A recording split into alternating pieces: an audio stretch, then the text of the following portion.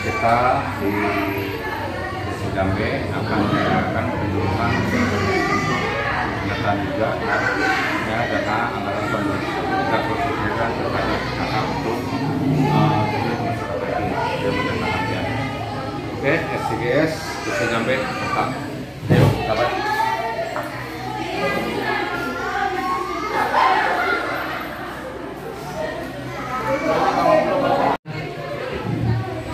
Assalamualaikum warahmatullahi wabarakatuh. Bismillahirrahmanirrahim. Alhamdulillahirobbilalamin. Wassalatu wassalamu ala sayyidina Muhammadin wa ala alihi.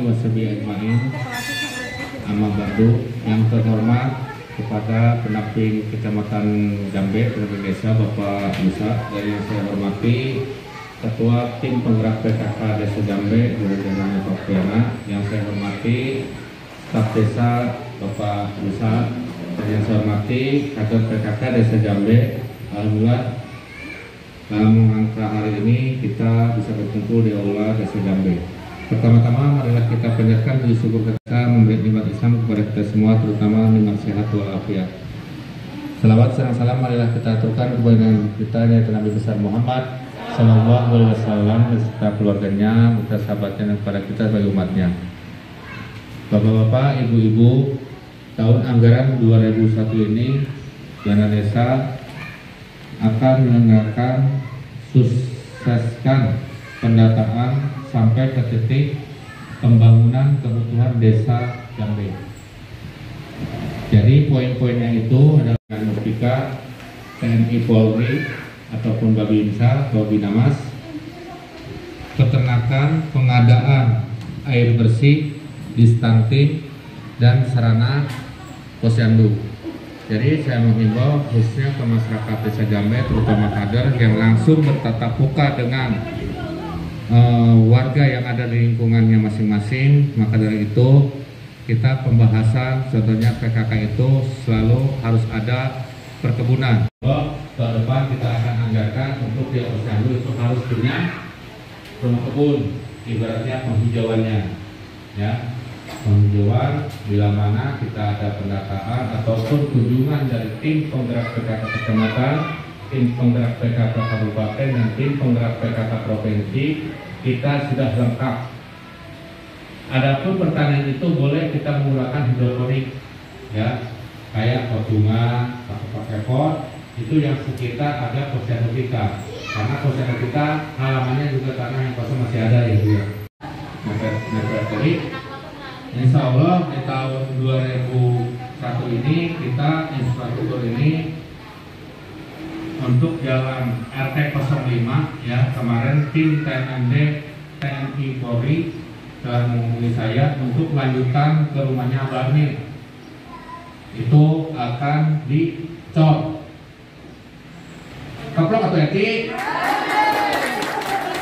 Langsung air tericor ke Palura. Mas baik saya tericor dan saya kemarin waktu ketemu contohnya jalan untuk RT 03 yang tidak pernah terrealisasi. Alhamdulillah ya ke depan rumahnya itu sekarang sudah tidak kotor lagi ban motornya. Sudah di paving block. Itu berkat dana desa. Ya dana desa sangat bermanfaat untuk pembangunan yang ada di wilayah PKK atau ketuanya. Jadi untuk pembangunan di desa Jambe saya target tahun 2004 itu sudah selesai semua. Tinggal kita jalan ke RT 010 lanjutan cor. Untuk RT 08 jalan RT 08 yang ada di wilayah RW 04 704 itu selalu diprioritaskan karena perbatasan. Semua. Tinggal RT 10 untuk RT 11 tembusan kenapa paving block karena saya sudah mengusulkan untuk dicor tidak boleh. Karena itu berbentur dengan adanya pembebasan lahan tol. Juga kelar semua. Keplok tangan itu ayo jalan tadi bagus kan ke Palura sinyangir ayo jalan ini bagus kan baik baik kamu masih tingkong cerewet. Jadi apresiasi saya untuk kader apa untuk kader Desa Jambe ya. Pengadaan air bersih itu sangat penting. Anggaran tahun 2021 ini Alhamdulillah untuk kader PKK khususnya 19 ya itu bangunan dipangkas semua karena uang tersebut disalurkan untuk dana BLT COVID-19 Alhamdulillah tahun ini karena COVID-19 menurun dana anggaran dana desa digelontorkan untuk pembangunan MCK 3 unit. Ya Alhamdulillah. Itu waktu pembangunan tahun yang lalu. Tidak terrealisasi sekarang terrealisasi waktu itu saya sudah pakai dana kalangan sudah beli barang-barang itu tidak ada. Tapi saya sumbangkan ke musola. Itu. Jadi ditolak karena untuk pencairan dana tersebut. Khususnya kebutuhan posyandu. Bulurah juga sudah protes apa untuk pembelian pembelian kebutuhan yang ada di posyandu. Dan alhamdulillah PPKM Mikro Desa Jambe juara satu. Jadi ada barang-barang yang dibeli dari dana PPKM Mikro bila mana sudah tidak ada pandemi kita sudah bersih dari musibah COVID-19 itu bisa dipakai untuk kebutuhan langsung ke posyandu itu alhamdulillah. Ini pendamping desa tahu lah desa mana yang menganggarkan? Semua itu menganggarkan. Jadi alhamdulillah kebutuhan untuk di posyandu ada tambahan-tambahan itu. Ya, ada.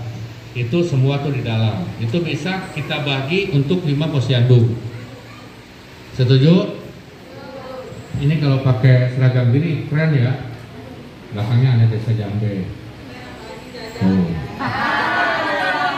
Kalau jalan-jalan kita emang prestasi wajib Pak Lurah kasih udara segar lah kalau ya kalau berakhir karena apa kita harus mencontohkan sebagai kader dan kepala desa sekaligus satgas COVID-19 harus mencontohkan ke warga masyarakat desa Jambi khususnya dan ke warga-warga yang lain di luar desa Jambi. Alhamdulillah. Jadi saya menghimbau khususnya para kader ini tetap bersinergi ya dan berdoa Pak Lurah punya rezeki ya kan? Semua juga ada catatan. Yang ibaratnya ada saya mau usah keterangan lagi lah udah tahu semua udah paham lah ya kan? Insya Allah. Apalagi jadi ingat ulah amin aminan baik vaksin gembul. Persyaratan untuk berangkat ke tanah suci itu harus vaksin. Ingat, kalau tidak punya surat vaksin itu tidak bisa berangkat. Ya, hati-hati. Hati mas lebih baik. Jadi alhamdulillah kader kita sangat membanggakan karena anaknya juga menjadi anggota Polri Ya, tepuk tangan untuk Ibu Yati yang telah sukses mendidik anaknya. Oh, alhamdulillah. Ya, sekian dari saya itu aja karena ini waktunya udah ya udah sudah aja dari topik ya. Wassalamualaikum warahmatullahi wabarakatuh. Ya sampai di sini dulu video kita dengan kader-kader istimewa kita nih ya yang selalu prestasi biarpun desa sederhana. Saya Web ikuti terus dengan Lurah Jambe. Ingat like and comment and subscribe. Wassalamualaikum warahmatullahi wabarakatuh. Utang.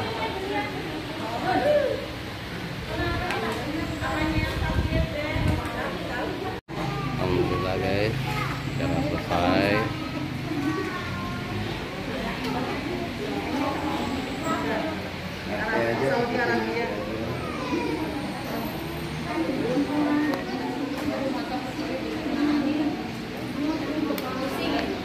Ayo, Tani maju. Alis. Uang transport. Uang transport.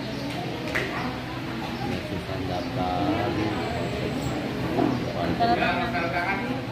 Eh, Teh Imas belum ambil nasi bom. Ayo masuk mundur. Begini ke belakang.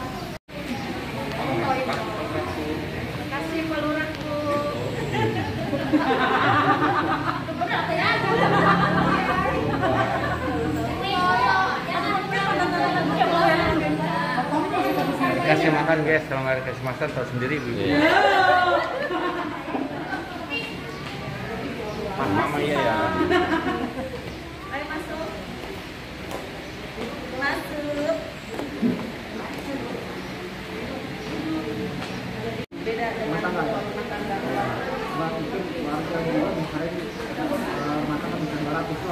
Makasih.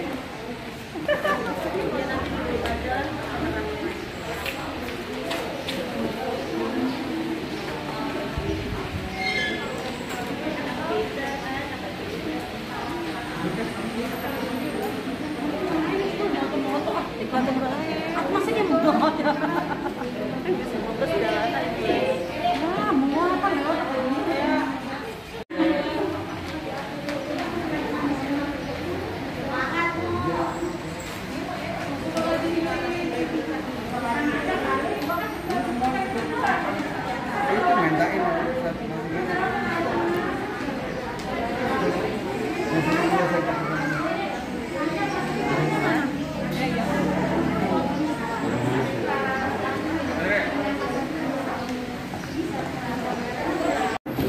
Bang Joni. Woi. Yahoo. Oh. Mantap. Makasih bosku. Oke. Makasih. Pas Rezeki, terus. rezeki anak soleh bosku. Amin. Mantap. Selamat makan Mas Joni.